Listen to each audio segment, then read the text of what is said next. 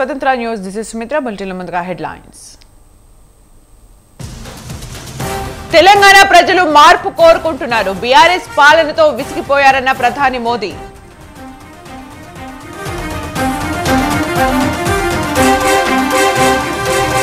వ్యవసాయానికి ఉచిత విద్యుత్ ప్రారంభించిందే కాంగ్రెస్. సాగుకు ఉచితంగా ఇరవై నాలుగు గంటల కరెంట్ ఇస్తామన్న రాహుల్.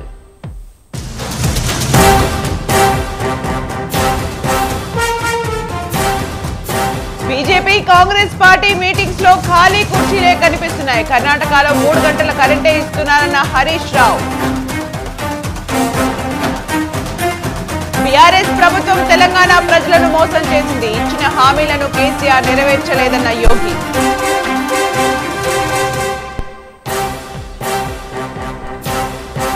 పవన్ కళ్యాణ్ పై పేర్ని నాని ఫైర్. విశాఖ ఫైర్ యాక్సిడెంట్ని రాజకీయం చేస్తున్నారని ఆగ్రహం.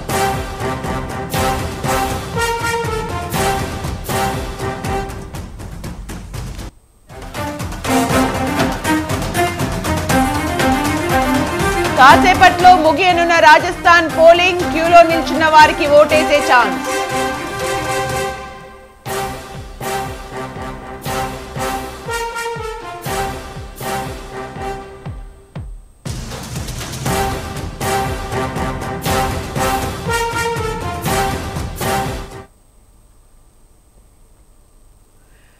ముస్లిం రిజర్వేషన్లు రాజ్యాంగ విరుద్ధమన్నారు. UP CM Yogi Adityanath Kagaz Nagar BJP సభలో మాట్లాడుతూ బీఆర్ఎస్ ప్రభుత్వం ముస్లిం రిజర్వేషన్లు తీసుకువచ్చి ఎస్సీ ఎస్టీ బలహీన వర్గాలకు అన్యాయం చేయాలని చూస్తోందని విమర్శించారు. ముస్లిం రిజర్వేషన్లు రద్దు కావాలంటే బీజేపీ అధికారంలోకి రావాలన్నారు. బీఆర్ఎస్ అంటే భ్రష్టాచార రిష్యత్ కోర్ సమితి అంటూ వ్యాఖ్యలు చేశారు.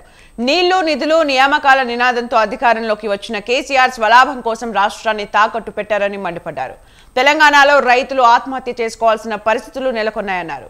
పేపర్ లీకేజ్లు జరుగుతున్నాయని అన్నారు.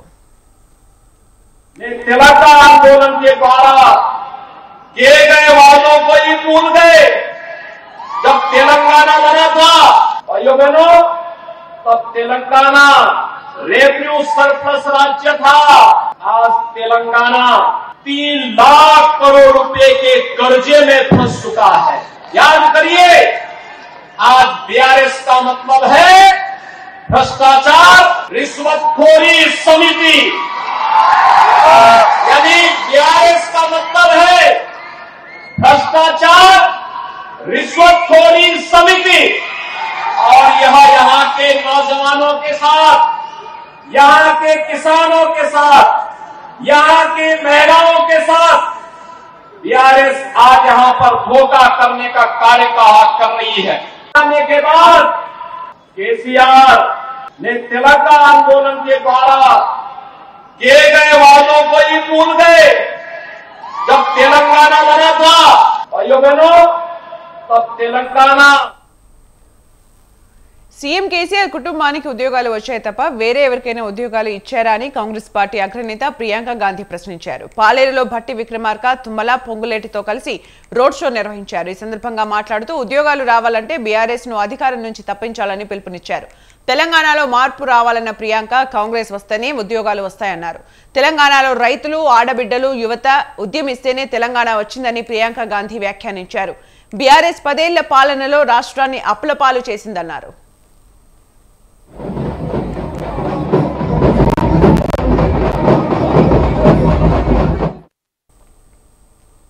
తెలంగాణలో అభివృద్ధి జరగాలంటే కేవలం బీజేపీతోనే సాధ్యమని ఎంపీ జీవీఎల్ అన్నారు. బంగారు తెలంగాణ చేస్తామని చెప్పి మోసం చేశారని ఆరోపించారు. ఉద్యమంలో పోరాటం చేసిన యువతను కూడా పట్టించుకోలేదని ఆగ్రహం వ్యక్తం చేశారు. బీసీని ముఖ్యమంత్రి చేయడం బీజేపీ వల్లే సాధ్యమవుతుందని చెప్పారు. బీసీని ఎస్సీని ముఖ్యమంత్రిని చేస్తామని చెప్పే ధైర్యం రేవంత్ రెడ్డికి ఉందా అని జీవీఎల్ ప్రశ్నించారు. అవినీతిమయ రాజకీయాలు చేశారు. కుటుంబ రాజకీయాలు చేశారు.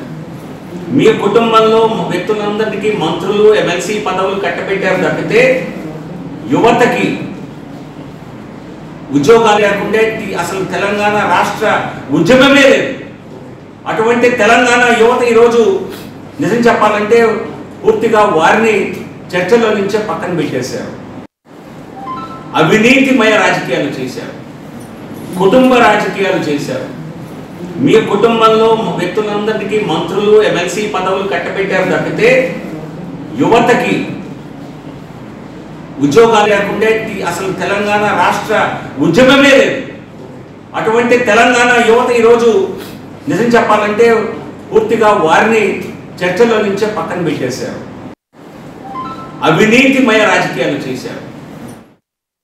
తెలంగాణలో ఎన్నికల ప్రచారాలు జోరుగా కొనసాగుతున్నాయి. పోలింగ్ తేదీ సమీపిస్తుండటంతో ఓటర్లను ప్రసన్నం చేసుకునేందుకు అభ్యర్థులు వివిధ రకాల హామీలను ఇస్తున్నారు. ఉమ్మడి కరీంనగర్ జిల్లాలోని రామగుండం సింగరేణి కార్మిక ప్రాంతంలో బీఆర్ఎస్ ప్రచారం పలు హామీలతో జోరుగా కొనసాగుతోంది. రామగుండం నియోజకవర్గానికి పరిశ్రమలు తీసుకువచ్చి యువతకు ఉద్యోగ ఉపాధి అవకాశాలు కల్పించి నియోజకవర్గాన్ని అభివృద్ధి పదంలో నడిపిస్తామంటున్న బీఆర్ఎస్ సిట్టింగ్ ఎమ్మెల్యే కోరుకంటి చందర్తో మా ప్రతినిధి ప్రశాంత్ ఫేస్ టు ఫేస్. రోజులు మాత్రమే తెలంగాణలో పోలింగ్కు సమయం ఉంది. ఇప్పటికే ఉమ్మడి కరీంనగర్ జిల్లా సంబంధించి కూడా ఇటు బీఆర్ఎస్ బీజేపీ అదేవిధంగా కాంగ్రెస్ ప్రధాన పార్టీల అభ్యర్థులు అయితే ఇప్పటికే ప్రచార పర్వంని మొదలుపెట్టారు. ఇంకా మూడు రోజులకే ప్రచారం ముగినుంది ఇప్పటికే జనాలను కలిసే పనిలో కూడా కీలక నేతలంతా కూడా నిమగ్నమయ్యారు. ప్రస్తుతం మనకు అందుబాటులో రామగుండం ఎమ్మెల్యే ప్రస్తుత బీఆర్ఎస్ పార్టీ అభ్యర్థి బీఆర్ఎస్ పెద్దపల్లి జిల్లా అధ్యక్షుడు కోరకండి చంద్రరావు మనకు అందుబాటులో ఉన్నారు. వారితో మాట్లాడించే ప్రయత్నం చేద్దాం. పోలింగ్ ఇప్పటికైతే నోటిఫికేషన్ అప్పటి నుంచి కూడా మీరు ప్రజల్లో ఉంటున్నారు. నిన్న ప్రజా ఆశీర్వాద సభ కూడా ఎలాంటి స్పందన వచ్చింది? అదేవిధంగా మీ ప్రచారంలో కూడా మీరు క్యాంపెయినింగ్ చేస్తుంటే ప్రజల నుంచి ఎలాంటి స్పందన మిగులుతుంది? గౌరవ ముఖ్యమంత్రి కేసీఆర్ గారు నిన్న ప్రత్యేకంగా వారు ప్రకటించడం జరిగింది. రామగుండం నియోజకవర్గాన్ని ఒక పారిశ్రామిక కారిడార్గా తీర్చి దిద్దడమే కాకుండా ఇక్కడ బొగ్గు నీళ్ళు కరెంటు అన్నీ ఉండి కూడా ఇక్కడ పరిశ్రమలు నెలకొల్పలేదు కాబట్టి ఇక్కడ ఉపాధి ఉద్యోగ అవకాశాల కల్పన కోసం కొత్తగా పరిశ్రమలు నెలకొల్పుతామని కూడా వారు మాట ఇవ్వడం జరిగింది. అదే కాకుండా రామగుండం నియోజకవర్గంలో ప్రత్యేకంగా ఈ ప్రాంతంలో ఉన్నటువంటి అనేక సమస్యలను కేసీఆర్ గారికి ప్రస్తావించినప్పుడు వాటన్నింటినీ కూడా తప్పకుండా చేసి తీరుతామని కూడా ఈ ఇక్కడ మనకు చెప్పినటువంటి సందర్భం కూడా మీకు అందరికి కూడా గుర్తు చేస్తూ ఈరోజు రామగుండం నియోజకవర్గంలో ఉన్నటువంటి ప్రజలందరూ కూడా ఒక్కతాటి పైకి వచ్చారు ఇప్పటికే గౌరవ మంత్రి కేటీఆర్ కూడా ఈ యొక్క నియోజకవర్గాన్ని దత్తత తీసుకుంటాను ప్రకటించడం జరిగింది. అదేవిధంగా రాష్ట్ర వ్యాప్తంగా కూడా ఇప్పుడు కాంగ్రెస్కి ఒక వేవ్ ఉందని కూడా వాళ్ళు భావిస్తున్నారు. అదేవిధంగా ఈ నియోజకవర్గంలో కాంగ్రెస్ అభ్యర్థి మాత్రం గత ఎన్నికలతో పోల్చుకుంటే పుంజుకున్నారని కూడా వార్తలు వస్తున్నాయి. ఈ నేపథ్యంలో కాంగ్రెస్ ఏదో ఎదుర్కొంటారు? అదేవిధంగా మీ గెలుపు గల మీ గెలుపు ఎలా ఉండబోతుంది? వందకు వంద పర్సెంట్ ఇక్కడ కాంగ్రెస్ పార్టీని నమ్మే పరిస్థితులు లేరు. ఇక్కడ గుండాయిజాన్ని రౌడయిజాన్ని ప్రోత్సహించేటువంటి పరిస్థితి లేదు. కాబట్టి ఇక్కడ సంక్షేమం కోసం ప్రజలు ఈ ప్రాంత అభివృద్ధి కోసమే ఆలోచన చేస్తున్నారు. అది బీఆర్ఎస్ పార్టీతోని కేసీఆర్ గారి నాయకత్వంతో మాత్రమే సాధ్యమవుతుంది అనేటువంటి విశ్వాసంతో ఉన్నారు కాబట్టి కేసీఆర్ గారు నిన్న మీటింగ్లో కూడా చెప్పినటువంటి సందర్భాన్ని బట్టి తప్పకుండా వన్ సైడ్ వారు రేపు ఎన్నికలలో జరగబోతా ఉన్నది. ఫైనల్గా ఒక్క ప్రశ్న సార్. మీరు మీ మీద ప్రత్యర్థి పార్టీలు ఆరోపిస్తున్న ఆరోపణ మీకు కూడా ఇప్పటివరకు తెలిసింది. ఎఫ్సిఐ ఉద్యోగులకు సంబంధించి కానీ మరి ఇతర మీ నాయకులకు సంబంధించి మున్సిపాలిటీలో మున్సిపాల్లో కూడా చేతుపడడం చూపించారంటూ కూడా ప్రతి ప్రధానంగా ఆర్ఎఫ్సీలు అయితే రాష్ట్ర వ్యాప్తంగా ఇష్యూ అయింది. ఈ నేపథ్యంలో మీకు మీకు పడే ఓట్ల మీద అంటే మీకు జనాల మీద మీకు వేసే ఓట్ల మీద ఏమైనా ప్రభావితం ఉందని మీరు భావిస్తున్నారా? ప్రజలెవరు కూడా అటు విషయాన్ని పట్టించుకోవడం లేదు. ఎందుకంటే మాకేం సంబంధం లేదు. ప్రతిపక్షాల వాళ్ళు ఆరోపణలు చేస్తున్నారు. అంతే. ఇలా కేసీఆర్ గారిని అవినీతి పరుడు అని అంటారు. ఇంకేవో రకాల మాట్లాడతారు. వాటిని ఇవి కూడా ప్రజలు పట్టించుకుంటలేరు. ఈ యొక్క నియోజకవర్గంలో కూడా పట్టించుకునే పరిస్థితి లేదు. ఎందుకంటే అది ఎవరో చేస్తే అది మనల్ని పార్టీని అభ్యర్థిని అనేటువంటి మా కోసం ఏ- వేరే విధంగా మాట్లాడే అవకాశం లేదు కాబట్టి దాన్ని ఒకటి మాట్లాడుతూ ఉన్నారు. రైట్ మొత్తంగా చూసుకున్నట్టయితే ఎన్నికలకు సంబంధించి గౌరికంటి చందర్ ఇప్పటికే ప్రచారం నిర్వహించడం ప్రారంభించారు. ప్రచారంలో కూడా మంచి స్పందన వస్తుందని కూడా చెప్తున్నారు. అయితే నిన్నటి ప్రజా ఆశీర్వాద సీఎం సభతో కూడా నా యొక్క గెలుపు ఫిక్స్ అయిందని కూడా చెప్తున్నారు. ఇది ఇక్కడ తాజాగా నెలకొన్న పరిస్థితి. కెమెరా పర్సన్ సంతోష్తో ప్రశాంత్ రామగుండం నియోజకవర్గం నుంచి. పది సంవత్సరాలుగా సూర్యపేటలో జరిగిన అభివృద్ధిపై ప్రజల నుండి మంచి స్పందన వస్తుందని మంత్రి జగదీష్ రెడ్డి సతీమణి సునీత అన్నారు. సూర్యాపేట జిల్లా కేంద్రంలోని ఇరవై మూడవ వార్డులో ఆమె ఇంటింటి ప్రచారం నిర్వహించారు. మూడోసారి జగదీష్ రెడ్డిని భారీ మెజార్టీతో గెలిపించడానికి సూర్యాపేట ప్రజలంతా సిద్ధంగా ఉన్నారన్నారు. మేనిఫెస్టోలో ఇచ్చిన హామీలను కేసీఆర్ మాత్రమే నెరవేర్చగలరని ప్రజలు నమ్ముతున్నారని మూడోసారి తెలంగాణలో బీఆర్ఎస్ ప్రభుత్వం అధికారంలోకి వస్తుందని సునీత ధీమా వ్యక్తం చేశారు. జగదీష్ రెడ్డి గారి కారు గుర్తు మీద ఓటు వేయమని ప్రతి గడపకు తిరుగుతూ అందరినీ కూడా ఓటు అడగడం జరుగుతుంది. వాళ్ళందరూ కూడా చాలా బాగా స్పందిస్తున్నారు. ఎందుకు అని అంటే మాకు చాలా అభివృద్ధి చెందింది. ముఖ్యంగా మనకు సూర్యాపేటలో మూసి మురికి నీళ్ళు తాగిన వాళ్ళం. అలాంటిది ఇప్పుడు మాకు కృష్ణా జలాలు వస్తున్నాయి. ఇక్కడ రోడ్లు చాలా అధ్వానంగా ఉండేది. అలాంటిది మాకు ఇక్కడ రోడ్లు మంచిగా అయినాయి. కాలువలు కట్టినారు. దాంతో పాటుగా ఈ ప్రాంతం చాలా అభివృద్ధి చెందింది అనేసి వాళ్ళందరూ కూడా చెప్తున్నారు. చాలామందికి దళిత బంధు వచ్చింది రైతు బంధు వచ్చింది డబుల్ బెడ్రూమ్లు వచ్చినాయి. కళ్యాణ లక్ష్మి వచ్చింది షాదీ ముబారక్ వచ్చింది. దాంతో పాటుగా మనకి పెన్షన్స్ వస్తున్నాయి. దాంతో పాటుగా కేసీఆర్ కిట్ వచ్చింది బీఆర్ఎస్ పార్టీ భారీ మెజార్టీతో విజయం సాధించడం ఖాయమని ఎంపీ బండి పార్థసారథి రెడ్డి అన్నారు. ఖమ్మం జిల్లా సత్తుపల్లి పట్టణంలో బీఆర్ఎస్ పార్టీ ఆధ్వర్యంలో ఆర్య వైశ్యులతో ఎంపీ బండి పార్థసారథి రెడ్డి ఎమ్మెల్యే అభ్యర్థి చంద్ర వెంకట వీరయ్య ఆత్మీయ సమ్మేళనం నిర్వహించారు. ప్రజల ఆశీస్సులతో మూడుసార్లు ఎమ్మెల్యేగా ఎన్నికై ప్రజలకు సేవ చేస్తున్న సండ్ర వెంకట వీరయ్య అంటే తనకెంతో అభిమానమని పార్థసారథి రెడ్డి తెలిపారు. పదేళ్ళ కాలంలో సత్తుపల్లి ప్రాంతం అభివృద్ధి చెందిందని వెయ్యి కోట్ల రూపాయల నిధుల్ని ఖర్చు చేసి సండ్ర వెంకట వీరయ్య సత్తుపల్లి ప్రాంతాన్ని సుందరంగా అభివృద్ధి చేశారన్నారు. పనిచేసే వ్యక్తికి పట్టం కట్టాలని పదిహేనేళ్ళుగా అభివృద్ధికి తోడ్పడుతున్న నాయకులను ఎన్నుకోవాలని ప్రతి ఒక్కరూ కారు గుర్తుకు ఓటు వేసి సండ్ర వెంకట వీరయ్యను గెలిపించాలని పార్థసారథి రెడ్డి ప్రజల్ని కోరారు. పరిచయం దగ్గర పరిచయం? ఒక ఎమ్మెల్యేగా నాకు తెలుసు. సత్యపల్లి పౌరుడిగా. వారి యొక్క మంచితనం విన్నా. మరి ఒకసారి కలిసిన ప్రాలోచనపై మాత్రమే మన సత్తుపల్లి ప్రాంతంలో ఉన్నటువంటి రాజకీయంలో ఉండి మీ అందరి యొక్క ఆశీస్సులతో మూడు సార్లు ఎమ్మెల్యేగా ఎన్నికైనటువంటి సభ గారు అంటే చాలా ఇష్టం. ఎందుకంటే పనిచేసే వాళ్ళు పని చేసి పని కోసం ప్రారంభించే డెడికేషన్ తోటి కమిట్మెంట్ తోటి మనకు సమాజానికి సేవ చేసే వాళ్ళు మనకి సమాజానికి కావాలి. మన సత్యపల్లి గారి నవ్వడం అదృష్టం సత్యపల్లి ఎట్లా ఉండేది? నేను డెబ్బై మూడులో చదువుకున్నప్పుడు సింగిల్ టీ రావడానికి సింగ్ హోటల్ ఉండేది. దాని తర్వాత కాలేజ్ ప్రతిపక్ష ఉన్న నియోజకవర్గ అభివృద్ధిని గుర్తుపడకుండా ఒక సమర్థవంతంగా ఈ అధికార దగ్గరికి ఏ రకంగా వెళ్ళాలి? ఎవరి దగ్గరికి వెళ్తే వాళ్ళతో పూర్తిగా అవగాహన కలిగి వ్యక్తిని నియోజకవర్గం కలవాలంటే అపాయింట్మెంట్ అవసరం లేదు. నియోజకవర్గాల్లో మీరే ఎమ్మెల్యే తప్ప షాడో ఎమ్మెల్యే లేదు. రేపు షాడో ఎమ్మెల్యే రాబోతున్నారు దయచేసి గమనించమని చెప్పి కోరుతున్నాను. ఇప్పటికే ఆ రోజు కూర్చోబెట్టి వచ్చే మున్సిపాలిటీ ఎన్నికల్లో టికెట్లను మాకే జనసేన అధినేత పవన్ కళ్యాణ్ పై మాజీ మంత్రి పేర్ని నాని ఫైర్ అయ్యారు. విశాఖ ఫిషింగ్ హార్బర్ ఫైర్ యాక్సిడెంట్ని పవన్ కళ్యాణ్ రాజకీయం చేస్తున్నారని ధ్వజమెత్తారు. ప్రమాదం జరిగిన వెంటనే సీఎం జగన్ స్పందించడంతో పాటు బాధిత బోటు యజమానులకు పరిహారం అందించారన్నారు. దీన్ని జీర్ణించుకోలేని పవన్ కళ్యాణ్ సీఎం జగన్ పై విషం కక్కుతున్నారని పేర్ని నాని మండిపడ్డారు. రెండు వేల పద్నాలుగు నుండి రెండు వేల పంతొమ్మిది వరకు టీడీపీ జనసేన ప్రభుత్వంలో మత్స్యకారులకు చేసిందేంటో చెప్పాలన్నారు. చంద్రబాబును అధికారంలోకి తీసుకురావాలనే తాపత్రయమే తప్ప ప్రజలకు మంచి చేద్దామన్న ఆలోచన పవన్ కళ్యాణ్కు లేదని పేర్ని నాని విమర్శించారు. జగన్మోహన్ రెడ్డి గారు ఈ తగలబడిపోయిన బోట్లకి డబ్బులు ఇస్తా అన్నాడు. ఒక్కో దానికి పదిహేను లక్షలు ఇస్తా అని చెప్పాడు. ఐదు లక్షలు చేతిలో పెట్టాడు. అసలు ఐదు లక్షలు కూడా ఇవ్వలేదు. నేను ఎందుకు ఇస్తున్నానంటే నేను ఇచ్చిన యాభై వేలతో అన్న కంగారు పడి జగన్మోహన్ రెడ్డి డబ్బులు ఇస్తాను మాట నువ్వు షూటింగ్లు చేసుకుంటా నువ్వు ఆరగా తా తాయితీగా ఇవాళ లేచి వచ్చావు. జగన్మోహన్ రెడ్డి గారి ప్రభుత్వం ఏడు కోట్ల పదకొండు లక్షల రూపాయల చిల్లర డబ్బులు మత్స్యకారులకి. ముప్పై మంది ఫుల్లీ డ్యామేజ్డ్ బోటు మొత్తం దహనమైనటువంటి ముప్పై బోట్లకి డబ్బులు ఇవ్వడం జరిగింది. అలాగే పాక్షికంగా దెబ్బతిన్నటువంటి పద్దెనిమిది మంది బోట్లకి డబ్బులు ఇవ్వటం జరిగింది. వలలు తగలబడిపోయినటువంటి ఒక వ్యక్తి ఒక మత్స్యకారుడికి కేవలం వల మాత్రమే తగలబడిపోతే అతనికి ఎనభై వేల రూపాయలు ఇవ్వడం జరిగింది. ఇవాళ ఆయన చెప్తాడు ఐదు లక్షలు ఇస్తున్నాడు ఐదు లక్షల చేతిలో పెడుతున్నాడు ఎంత పచ్చి దగాకోరు మాటలంటే ఏపీ అసెంబ్లీ ఎన్నికలకు ఇంకా ఆరు నెలల సమయం ఉంది. అయితే అధికార విపక్షాలు ఇప్పటి నుంచి ఎన్నికల సమరానికి సమాయత్తమవుతున్నాయి. జయాపజయాలను సమానంగా తీసుకుని ప్రజాసేవలో తరిస్తున్న నేతగా టీడీపీ నాయకుడు మాజీ ఎమ్మెల్యే పార్థసారథి పేరు పొందారు. రాబోయే అసెంబ్లీ ఎన్నికల్లో పెనుకొండ కోటలో టీడీపీ జెండా రెపరెపలాడించేందుకు పార్థసారథి తహతహలాడుతున్నారు.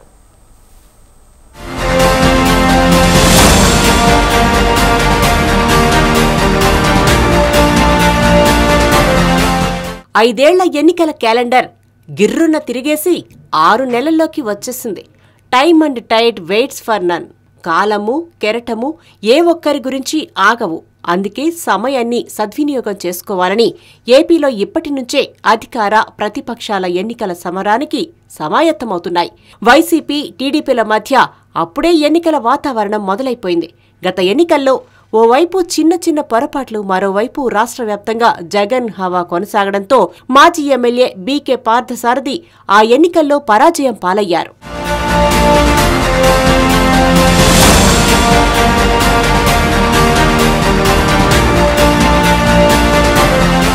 Failure a stepping stone to success వైఫల్యం విజయానికి సోపానం. ఈ సామెతను పరిగణలోకి తీసుకున్నారో ఏమో.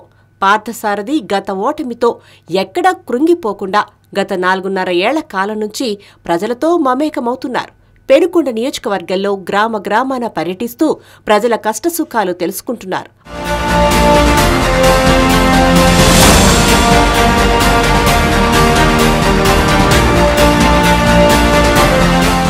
అటు టీడీపీ కార్యకర్తల్లో ముఖ్య పాత్ర వహించి చురుగ్గా పాల్గొంటున్న పార్థసారథి ఇటు కార్యకర్తలకు కొండంత భరోసాగా ఉంటున్నారు.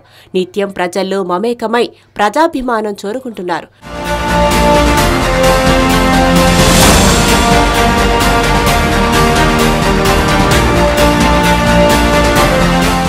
పెనుకొండ నియోజకవర్గంలో గ్రామ గ్రామాన పార్థసారథి పర్యటిస్తూ కార్యకర్తల్లో నూతనోత్తేజం నింపుతున్నారు.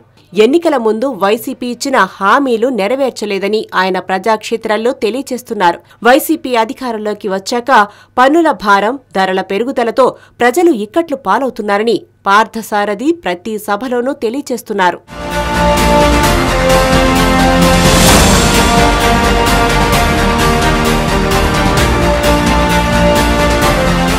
ఉత్తర భారతదేశానికి తరలిపోతున్న సందర్భంలో వెనుకబడిన అనంతపురం జిల్లాలో కియా పరిశ్రమ నాటి టీడీపీ హయాంలో ఏర్పాటైందని పార్థసారథి తెలిపారు.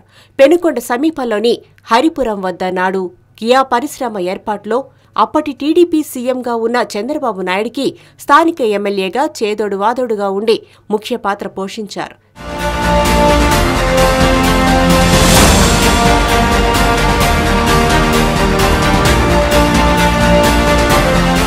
స్కిల్ డెవలప్మెంట్ కేసులో చంద్రబాబు నాయుడు అక్రమ అరెస్టుకు నిరసనగా పార్థసారథి వివిధ కార్యక్రమాలు చేపట్టి కార్యకర్తల్లో మనోధైర్యాన్ని నింపారు. టీడీపీ ప్రభుత్వంలో చేసిన అభివృద్ధి కార్యక్రమాలను ప్రజల్లోకి తీసుకువెళ్ళడంలో మాజీ పార్థసారథి ముందుంటున్నారు. పెనుకొండ నియోజకవర్గంలోని టీడీపీ నేతలు కార్యకర్తలు అందరినీ ఒకటిగా కలుపుకొని రానున్న అసెంబ్లీ ఎన్నికల్లో విజయకేతనం ఎగరవేయడానికి పార్థసారథి ముందుకు సాగుతున్నారు.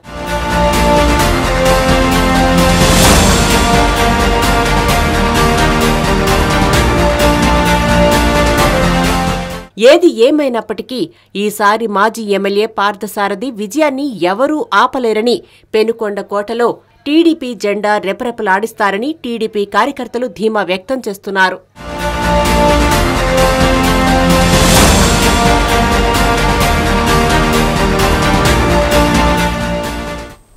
తిరుమల శ్రీవారిని వీఐపీ విరామ సమయంలో ఎమ్మెల్యే గణబాబు మధ్యప్రదేశ్ మినిస్టర్ రాజేంద్ర శుక్లా భారత ప్రధానమంత్రి నరేంద్ర మోడీ ఎస్పీజీ బృందం వేరువేరుగా దర్శించుకున్నారు. వారికి ఆలయ అధికారులు స్వాగతం పలికి దర్శన ఏర్పాట్లు చేశారు. దర్శనాంతరం రంగనాయకుల మండపంలో వేద పండితులు వేద ఆశీర్వచనం అందించగా టీటీడీ అధికారులు తీర్థ ప్రసాదాలు అందించారు. ఆలయం వెలుపల భారత ప్రధానమంత్రి నరేంద్ర మోడీ తిరుమల పర్యటన నేపథ్యంలో ఎస్పీజీ బృందం శ్రీవారి ఆలయ ప్రాంగణంలో తనిఖీలు నిర్వహించారు. ఇవి బులెటిన్ విశేషాలు. కీప్ వాచింగ్ స్వతంత్ర.